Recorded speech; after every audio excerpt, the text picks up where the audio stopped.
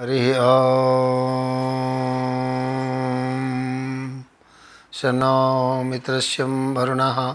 शं नो भवत्वर्यमा शं न इन्द्रो बृहस्पतिः।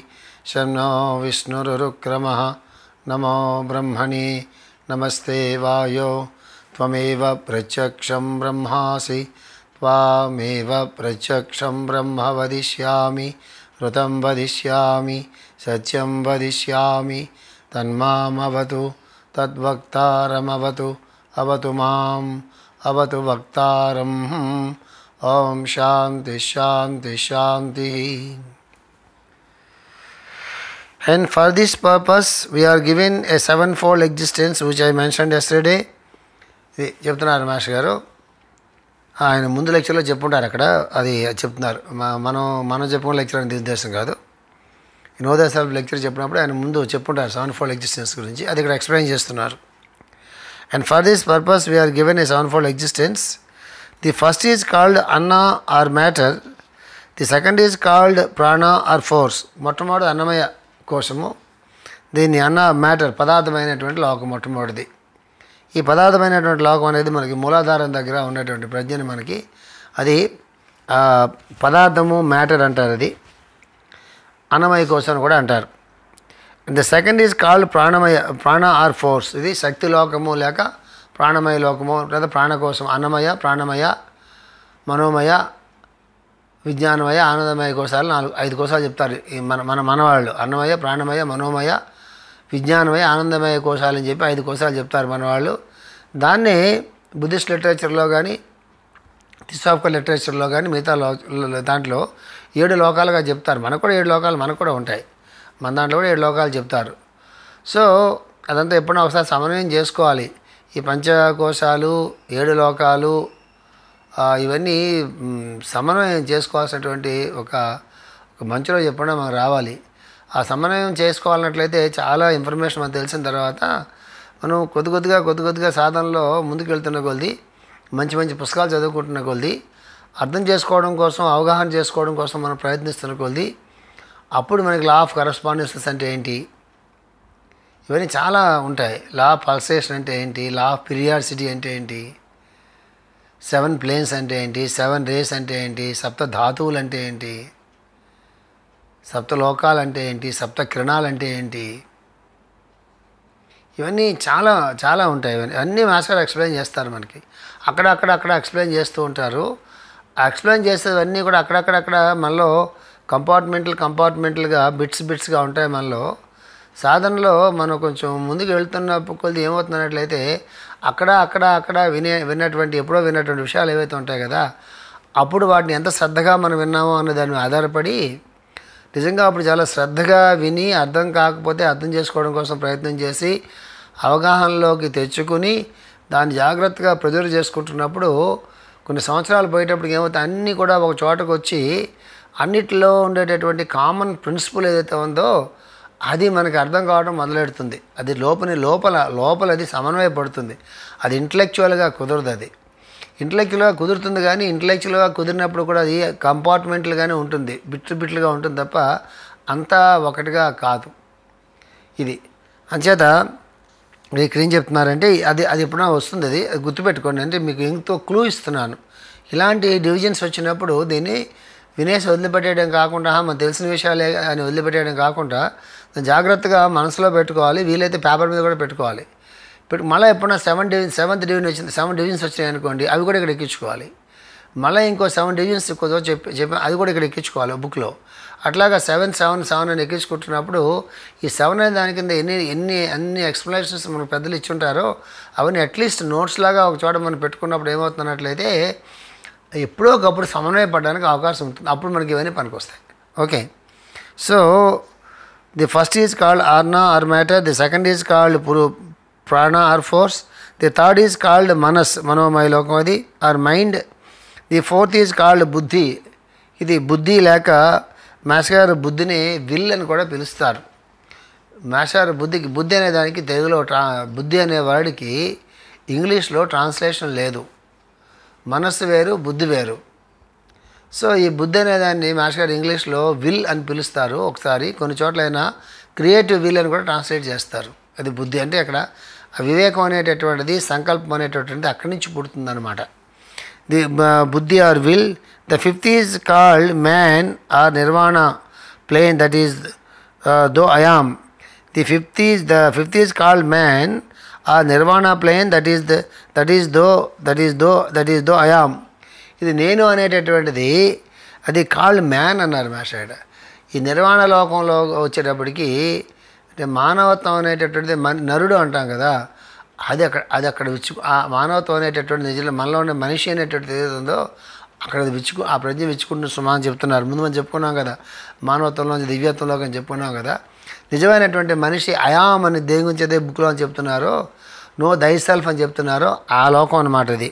నిర్వాణ plane that is though I am. The sixth is called the planetary I am. దీని తర్వాత ఇది మాస్ గారు యాక్చువల్గా నిర్వాణ పరనిర్వాణ మహాపరినిర్వాణ అని ఆ లోకాలు ఆ బౌద్ధుల తాలూకు డివిజన్ అది. దివ్యజ్ఞానం వాళ్ళు కూడా అదే డివిజన్ తీసుకున్నారు. మాస్ గారు నెక్స్ట్ ఇంకో డైమెన్షన్ ఎక్స్ప్లెయిన్ చేస్తున్నారు. అయాం అనేది ఒకటి ఉంది. అయాం అంటే మనలో ఉండే అయాం అది మనిషి చెప్తున్నారు మానవుడు. చెప్పి తర్వాత ఏం చెప్తున్నారంటే the sixth is called the plant I am plant I am అంటే అర్థం ఏంటంటే మన మన ఎక్కడ ఉంటున్నాం? మనంతా మన ఎక్కడ ఉంటున్నాం? మనందరూ మనందరూ ఇక్కడ ఈ భూగోళం మీద ఉంటున్నాం. ఈ భూగోళం అంతా ఎక్కడ ఉన్నది? మిగతా గ్రహాలతో అన్నిటితో కూడా కలిపి ఈ సౌర కుటుంబంలో ఉన్నది. అంచేది ఈ గ్రహాలకు అన్నిటికి కూడా కలిసి ఒక నేను అనేటటువంటి ప్రజ్ఞ వేరే పనిచేస్తుంటు సుమా అని చెప్తున్నారు. దాన్ని ప్లాంట్రయామ్ అని చెప్తున్నారు. Plant I am. I am పరినిర్వాణ plane that is the God in man and seventh is the I am of the solar system. పరినిర్వాణ plane that is the God in man the seventh the God in పరినిర్వాణం అంటే అదంటే? God in man పరినిర్వాణ పరినిర్వాణ లోకం అంటే మొట్టమొదటిగా మానవుడు అని చెప్పాడు చెప్పారు. ఫిఫ్త్లో సిక్స్త్లో పరినిర్వాణ లోకంలో ద గాడ్ ఇన్ మ్యాన్ ఇది. ద గాడ్ ఇన్ మ్యాన్ భగవంతుడు మనలో ఉంటున్నట్టుగా. అదే నేను అని అనుకుంటాం కదా అది చెప్తున్నారు. Man the seventh is the I am of the solar system Mahaparinirvana plane. The seventh is I am of the solar system. అంటే గ్రహాలన్నీ కూడా ఏ సౌర కుటుంబంలో ఉంటాయో ఆ సౌర కుటుంబానికి ఒక నేను అనేది ఉందంటండి. అది మహాపరినిర్వాణ లోకం సుమ అని చెప్తున్నారు. చెప్పి ద మ్యాన్ ఇన్ అదే the Mahaparinirvana plane the man in God. అది ది మ్యాన్ ఇన్ గాడ్. అంటే God in man man in God. ఒక లోకంలో గాడ్ ఇన్ మ్యాన్ అంటే మనకి ఆ లోపల ఉండిపోతుంది. నేను అనే భావన అది అహంకారంతో నేను అనే అహం అహంకారంలో కూడా అహం అనేది ఉంటుంది. అహం అంటే నేను అనే కదా? ఆ నేను చుట్టరా మిగతా అన్నీ కలిసి ఉంటే అహంకారం అంటారు. ఆ మిగతా అయిపోయి అహం అంటే ఆ సోహమస్మి బ్రహ్మహమస్మి అనే అనే అనే దానిలోకి అది మ్యాన్ ఇన్ గాడ్ ఇది చెప్పారు ఇక్కడ. చెప్పి these are the seven states that are existing in us and we begin our human evolution in existing in the first three planes along with animals ఈ మనలో ఈ మూడు కూడా ఉంటాయి. అన్నమయ కోసము ప్రాణమయ కోసము మనోమయ కోసము బుద్ధిమయము నిర్వాణము పరనిర్వాణము మహాపరినిర్వాణము. ఈలో ఉంటాయి. ఉంటాయి కదా? మొట్టమొదటి మూడు అంటే ఏంటి? అన్నమయ ప్రాణమయ మనోమయ కోసాలు చెప్పారు చూసారు లోకాలు చెప్పారు చూసారా? ఈ మూడు కూడా we begin to our begin our human evolution in existing in the first three planes along with animals మనతో పాటుగా జంతువులు కూడా ఆ మూడు కక్షల్లో కూడా పనిచేస్తూ ఉంటాయట. జంతువుల్లో కూడా ఆ మూడు లోకాలు పనిచేస్తూ ఉంటాయి. మూడు కక్షలు పనిచేస్తూ ఉంటాయి. అందుకే మాస్టర్ అప్పుడప్పుడు టూ టూ లెగ్డ్ యానిమల్ అన్నట్టు మనిషి హ్యూమన్ బీయింగ్ ఇది టూ లెగ్డ్ యానిమల్ అంటారు అప్పుడప్పుడు. అంటే కాంటెక్స్ని బట్టి. అదేమి జనరల్ థియరీ ఏం కాదు అది. టూ లెగ్డ్ యానిమల్ అంటే అర్థమేంటి తెలుసా? వాడు మనిషిగా తెలుసు లగ్ జంతువులు నాలుగు నాలుగు కాళ్ళు ఉంటాయి కదా. ఈ రెండు కాళ్ళే ఉంటాయి. జంతువులు చాలా మట్లు మనం చెప్పుకున్నాం. జంతువుల తాలూకు వెన్నుముక హార్జెంటల్గా ఉంటుంది. భూమికి గ్రావిటేషన్కి హార్జెంటల్గా ఉంటుంది. మానవుడి తాలూకు వెన్నుముక వెర్టికల్గా ఉంటుంది. పైథాగ్రస్ మహాశయుడు మా ఎవల్యూషన్లో హ్యూమన్ యానిమల్ కింగ్డమ్కి హ్యూమన్ కింగ్డమ్కి మధ్య నైంటీ డిగ్రీస్ యాంగిల్ ఉంటుంది అంటాడు నైన్ డిగ్రీస్ యాంగిల్ తేడా హ్యూమన్ యానిమల్ ఎవల్యూషన్ హ్యూమన్ ఎవల్యూషన్లోకి వెళ్ళడానికి. ఇంచేదంటే వెనుముక ఆర్జెంటల్గా ఉంటుంది యానిమల్స్లో మనుషుల్లో వెర్టికల్గా ఉంటుంది. ఇది నైన్ డిగ్రీసే కదా అది. సో ఇక్కడ మా అందులోంచే యానిమల్ కింగ్డంలో నుంచే హ్యూమన్ కింగ్డంలోకి వచ్చాడు కాబట్టి ఇంకా ఆ పశు ప్రవృత్తి అనేటటువంటిది వీళ్ళలో పోదు. ఆహార నిద్ర భయ మైదనములు అనేటటువంటి నాలుగిట్లో ఎవడైతే ఆహార నిద్ర భయ మైదనము ఈ నాలుగిట్లో ఎవడైతే ఇరుక్కుని ఉంటాడో ఈ నాలుగిటి కోసం ఎవడైతే జీవిస్తూ ఉంటాడో జీవితం మొత్తాన్ని దీనికే అంకితం చేసేసుకుంటాడో నీ జీవితం అంటే ఏంట్రా అంటే ఆహారము తినడం నిద్ర భయం సెక్యూరిటీ ప్రాబ్లం రేపు ఎలా ఉంటుందో దానికో డబ్బులు సంపాదించుకోవడం ఆ డబ్బులు బ్యాంకులో వేసుకోవటం లేకపోతే ఏదో ఇంకేదో ప్రెజర్ చేసుకోవటం లేదా ఆస్తులు ఏదో పెంచుకోవటం ఇదంతా భయంతో కూడుకున్నట్టువే కదా. రేపు ఏమైపోతుందో. మైదానం అంటే వాడి తాలూకు ఎంజాయ్మెంట్ ప్లెజరు సెక్స్ ఇదంతా. ఈ నాలుగిటితో ఎవడైతే మొత్తం జీవితాన్ని నాలుగిటికే పెట్టుకుంటాడో ఇంకా వాళ్ళు పశు ప్రవృత్తితోనే జీవిస్తున్నారు తప్ప ఈ మానవ మానవ ప్రవృత్తి అనేది ఇంకా వాళ్ళు మేల్కోలే సుమా అని మనకి పెద్దలు చెప్తూ ఉంటారు. ఆహార నిద్ర భయ మైథునములని ఒక నాలుగు సెట్ చెప్పారనమాట సో ఇక్కడ ఏం చెప్తున్నారంటే ఈ నాలుగిటు నాలుగు వాడికి వీడికి కామన్గా ఉంటాయి అని చెప్తున్నారు. జంతువులకి కానీ వీడికి కానీ కానీ మాస్టర్ గారు ఏం చెప్తారంటే ఆ విషయాల్లో మనిషి కన్నా జంతువులు ఇంకా బాగా బెటర్గా బిహేవ్ చేస్తారు సమానం చెప్తారు. ఎట్లా బెటర్గా బిహేవ్ చేస్తాయంటే ఆహారం వేటకి వెళ్ళినప్పుడు జంతువులు సాధారణంగా ముఖ్యంగా పులి లాంటి సింహం లాంటివి అవి కూడా ఆకలేస్తే మాత్రమే అవి వేట వేటకి వెళ్తాయి. ఎప్పుడైనా మీరు యాన్యువల్ ప్లానెట్ అవి ఎప్పుడైనా చూడండి. సింహాలు పడుకుని ఉంటాయి పక్కనే లేళ్ళు తిరుగుతూ ఉంటాయి. ఆ లేళ్ళని సింహాలు ఏం చేయవు. అన్నిసార్లు. ఎంచేత అప్పుడే ఈ వేట ముగించుకుని వచ్చి వచ్చి శుభ్రంగా తినేసాయి అనుకోండి తినేసి పడుకుందాక మాకు ఆకలేదు వాడికి. ఆకలి అయిపోతే ఎందుకన్నా మంచిది? ఒక లేడీని కొట్టిస్తే రేపు పొద్దున్న దాచుకుందాం అనే బుద్ధి ఆ- సింహాలకి వాటికి ఉండదు. ఏమైనా చూడండి కాలుస్తే. అక్కడ దాకా అక్కర్లేదు మన ఇంట్లో ఆవో గేదో ఉంటుంది. అది బాగా గడ్డి వేసిన తర్వాత లేకపోతే కుడి తాగిన తర్వాత గడ్డి అంతా తిన్న తర్వాత దానికి ఎంత వాల్యుబుల్ థింగ్ అయినా పట్టుకెళ్ళి కొంచెం కొంచెం గడ్డి వేయండి అక్కడ తింటుందేమో తింది పడుకుని నిద్రపోతుంది అది. ఎందుకు? తినదంతా అది మళ్ళీ అరిగించుకోవాలి కదా. తినదంతా పూర్తిగా అరిగి అరిగేంత వరకు అవి మళ్ళీ తినవవి. అదే మనం అయితే తిన్నప్పుడు ఏదైనా తిన్నప్పుడు కూడా మనకి నచ్చిన ఫుడ్ ఏదైనా కనిపిస్తే మళ్ళీ మనం తింటాం. సో ఇవన్నీ చెప్ మాస్టర్ చెప్పిన ఎగ్జాంపుల్స్ చెప్తాను మీకు నేను. మన మనకన్నా బాగా బెటర్ బెటర్గా బిహేవ్ చేస్తాను నిద్ర కూడా అంతే. ఎప్పుడు పడితే అప్పుడు నిద్రపోయి ఎప్పుడు పడితే మెలకు ఉండదు. వాడికి నిద్ర వస్తే నిద్రపోతాయి అవి. మనం నిద్ర వస్తే నిద్రపోము. నిద్ర మాస్టర్ అంటారు. నిద్ర వచ్చినా కూడా వీడు ప్యాకెట్ ఆడుతుంటాడు రాత్రి అంతా కూర్చుని అంటారు. నిద్రపోకుండా టీవీలు చూస్తుంటాడు అంటారు. నిద్రపోకుండా ఆడితే వీడితో అక్కలేని మాటలు మాట్లాడుకుంటాడు. నిద్రపోయే సమయం నిద్రపోకుండా నిద్రపోకుండా సమయం నిద్రపోతుంటాడు మనిషి అని చెప్తారు. శరీరానికి నిద్ర అనేది చాలా అవసరం కదా. శరీరానికి నిద్ర ఎందుకు అవసరం? శరీరం అంతా అలసిపోయి ఉంటుంది కాబట్టి ఆ మిషనరీ అంతా పనిచేస్తుంటుంది కాబట్టి దాని రెస్ట్ ఇవ్వాలంటే నిద్రలోనే రెస్ట్ ఇవ్వాలి దానికి.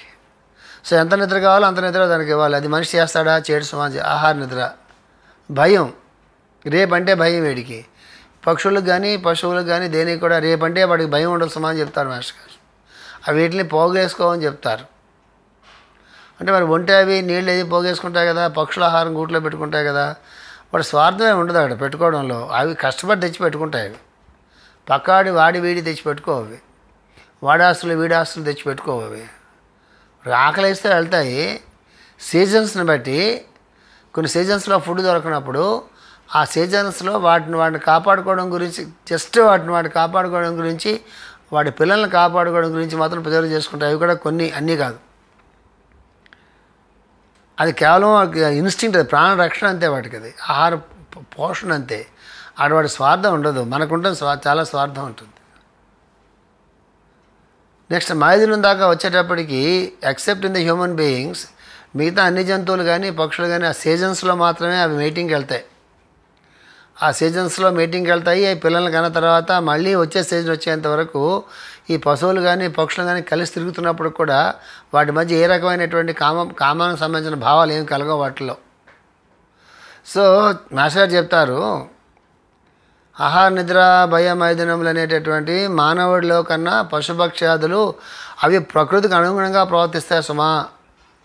కానీ మానవాడిలో వాడికి మనస్సు అనేది వచ్చిన తర్వాత ఆలోచనలు అనేవి వీటి మొదలైన తర్వాత వీడిలో కోరికలు అనేవి పుట్టడం మొదలుపెట్టిన తర్వాత అసలైన నేను అనేది కాకుండా అహంకారంతో కూడా నేను అనే భావన వీడికి వచ్చిన తర్వాత తెలివితేటలు బాగా పెరిగిపోయి ప్రకృతి నుంచి ప్రకృతికి విరుద్ధంగా ప్రకృతి ధర్మాలకు విరుద్ధంగా ప్రవర్తిస్తుంటాడు కాబట్టి అన్ని బాధలు అన్ని అన్ని అనారోగ్యాలు అన్ని దుఃఖాలు అన్ని కష్టాలు వీడికే వస్తాయి. ప్రకృతిలో మిగతా పక్షులకు కానీ జంతువులకు కానీ ఇన్ని కష్టాలు ఉండవు సుమా అని చెప్తారు మాస్టర్ గారు. వాళ్ళకి ఇన్ని హాస్పిటల్స్ అక్కర్లేదు. వాటి బర్త్ కూడా చాలా హాయిగా సునాయాసంగా అవుతూ ఉంటుంది. వాటిని మనం తెచ్చుకుని పెంచడం మొదలు పెడితే వాటికి జబ్బులు ఎక్కువ చేస్తాయి తప్ప అరణ్యాల్లో వాటంతా పెరిగే వాటికి వాటి ప్రకృతితో పాటు పెరుగుతుంటాయి కాబట్టి అరణ్యంలో పెరిగే జంతువులు కానీ అరణ్యాల్లో పెరిగే చెట్లు కానీ అరణ్యాల్లో పుట్టే పువ్వులు కానీ అవన్నీ కూడా న్యాచురల్గా పెరుగుతాయి. వాటంతా పెరుగుతాయి ప్రకృతితో పాటు కలిసి పెరుగుతాయి కాబట్టి మనకుండే అనారోగ్యాలు అవి ఆ ఇబ్బందులు బాధలు పడకుండా సుమా చెప్తారు. ఈవెన్ అదర్వైజ్ ఆ ఇన్స్టింక్ట్ అనేది మనిషిలో ఇన్స్టింక్ట్ అనేది ఇంటలెక్ట్ అనేది కాకుండా ఇన్స్టింక్ట్తో మాత్రమే మనిషి బతుకుతూ ఉన్నట్లయితే మానవ జన్మ అయినప్పుడు కూడా పశు ప్రవర్తిక పోలేసుమ అని చెప్తారు పెద్దలు మనకి. అది. ఇదంతా మాస్ గారు చెప్పిన లెక్చర్స్లో తీసి నేను మీకు చెప్పాను. అదే.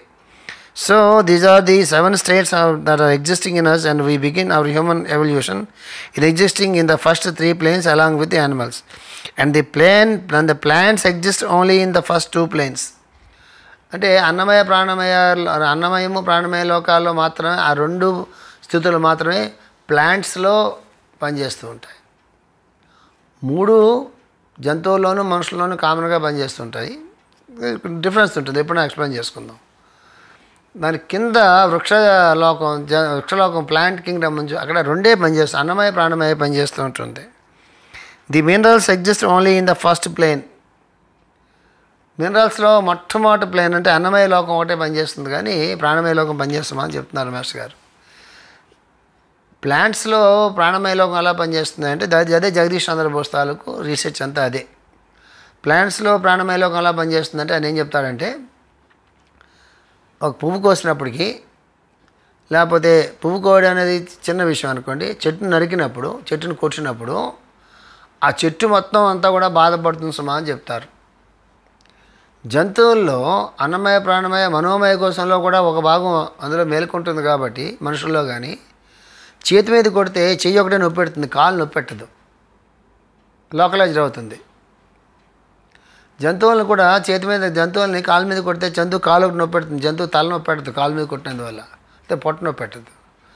కానీ అంటే మనోలే మనో మనోమయ లోకం విడిపడింది కాబట్టి మూడవది కూడా క్రియేట్ అయింది కాబట్టి వృక్షంలో ప్రాణమయ కోశం ఒకటే ఉంది కాబట్టి చెట్టును కొట్టినప్పుడు చెట్టు మొత్తం బాధపడుతుందట. ఆయన జగదీష్ చంద్రబోస్ లక్ష్మణుడు అదే కదా ఆయన ఆయన మెజర్ చేశాడు. మనకు ఎలాగైతే బాధ ఉంటుందో మనకు ఎవరైనా మనల్ని కొడితే ఎలాగైతే మనం బాధపడతామో చెట్లు కూడా మొత్తం అట్లాగే బాధపడతాయి సుమా. కాదు ఎక్స్ప్రెస్ చేయలేవు బయటికి అవి. వాటికి అంత బాధ ఉంటుంది సుమా అని చెప్తాడు. దానికి కారణం ఏంటంటే ప్రాణం సరే చెట్టు మొత్తం అంతా కూడా ఉంటుంది. చెట్టు అంతా కూడా ప్రాణం అంతా ఉంటుంది. అందుకే మన పెద్దలు సంప్రదాయం తెలిసినటువంటి వాళ్ళు సంప్రదాయంతో పాటుగా సైన్స్ కూడా అనేది మనం యాడ్ చేసుకోవాలి. తెలిసినటువంటి వాళ్ళు చెట్ల దగ్గర రాత్రులు చెట్ల దగ్గర వెళ్ళటం కానీ చెట్ల దగ్గర పువ్వులు కోయటం కానీ అవేమి రాత్రుల పూట చేయరు సాధారణంగా. సన్సెట్ అయిపోయిన తర్వాత చెట్ల దగ్గర రాత్రి అయిన తర్వాత చెట్ల దగ్గరికి వెళ్ళి వాటి నుంచి చేయరు. ఈవెన్ పగలు కూడా చెట్టు దగ్గర నుంచి ఒక పువ్వు కోసినా చెట్టు దగ్గర నుంచి ఏదైనా ఒక మూలికి తీసుకున్నా అది ఒక కొమ్మ తెంపినా కూడా సాంప్రదాయం చేసినటువంటి వాళ్ళు చెట్టుకి నమస్కారం చేసి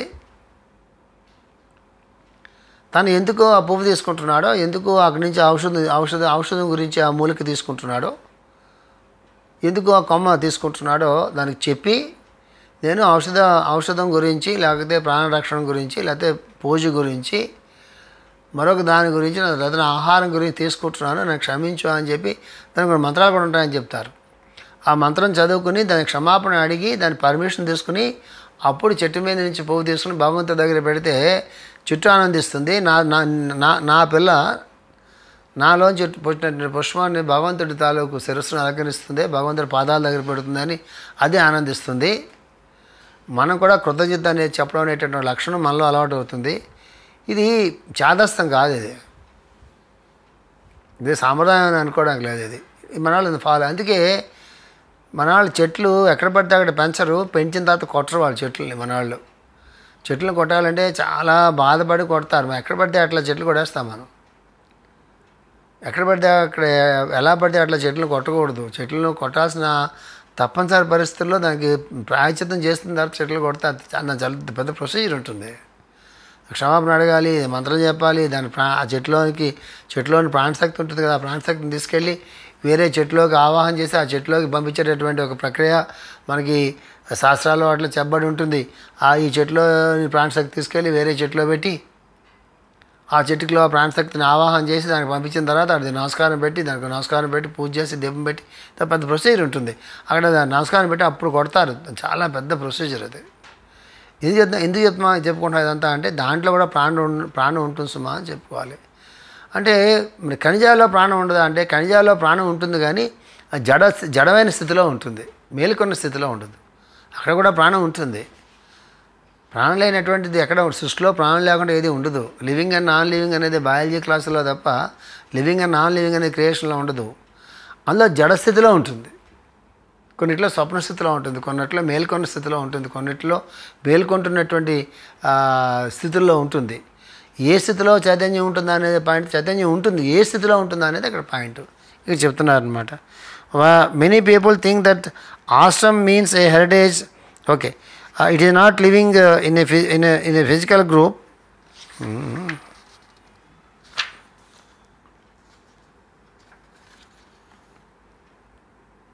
okay These are the seven states that are existing in us, and we begin our human evolution in existing in the first three planes along with the animals. And the plants exist only in the first two planes, that is matter and force. The minerals exist only in the first plane. ఇది చెప్పారు వచ్చే వారం మళ్ళీ మనం ఆ, మిగతా విషయం చెప్పుకుందాం స్వస్తి ప్రజాభ్య పరిపాలయంతాం న్యాయేన మార్గేణ మహీ మహిషా గోబ్రాహ్మణేభ్య సోమస్తు నిత్యం లోకా సమస్త సుఖినో భవంతు ఓం శాంతి శాంతి శాంతి